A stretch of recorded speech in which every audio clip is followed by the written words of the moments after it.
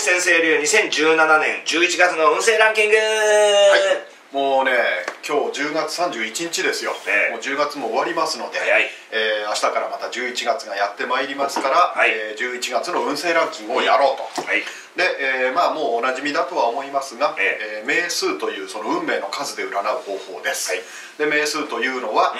えー生まれた年は必要ありませんので、う何月と何日っていう生まれた月と生まれた日付をそのまま単純に足し算し、はい。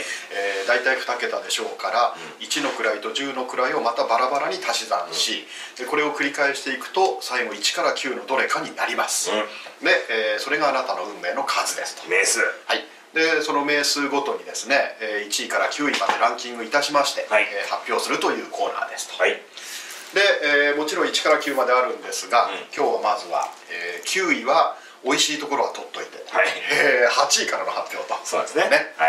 はい、えーまず11月、えー9つの9段階の中で、はい。第8位下から2番目、い。あんまり嬉しくないですけれども、えーこれがですね名数が8の方。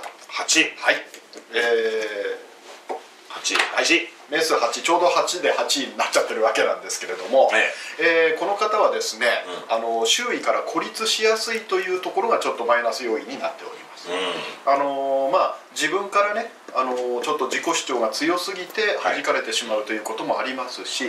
逆にそうじゃなくて普通通りにしてるのになんとなく立場的こう役割的にですねちょっと人からこう距離を置いた位置にいなくてはならないと、ん。そういうような役回りが回ってきちゃう時ですので、うん。もうこれは一月しょうがないそんなもんだと思っていただいて、はい。あの別に孤独感感じる必要もないので、うん。あの今月限りの運勢ですから、えーとりあえずあのまあいい機会だからちょっと客観的に周りを見てみると。ああなるほど。そんなふうに心がければあのこの運気を使いこなすことができると思います。おおいいじゃないですねね、そうやってはいけないのはだから逆に迎合してねなんとなくあの平子らと人についてったりするようなことをしない方がいいよと。あもう受け受け受け入れちゃった方がいいそうです。もう自分は今月そういうもんなんだと思っていてください。なるほど。はいこれが名数8の方、はい。第8位でしたね、えー続きまして第7位の7位。方、えー名数3の方でございます。はいえーこれはですね、あの状況がとか周囲がではなくって端的にあの個人の体調の落ちる月。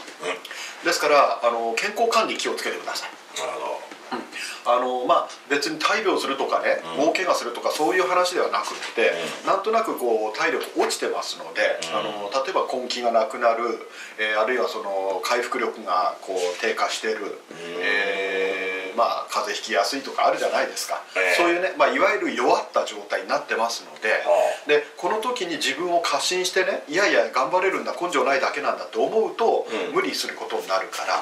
まず大前提として今月弱ってるんだと。だから無理できないんだとまず思ってください。で休める時ちゃんと体休めて。もちろんそれでもやらなきゃいけないことはあるから、ええ。前提として弱ってるんだということをまず理解すること。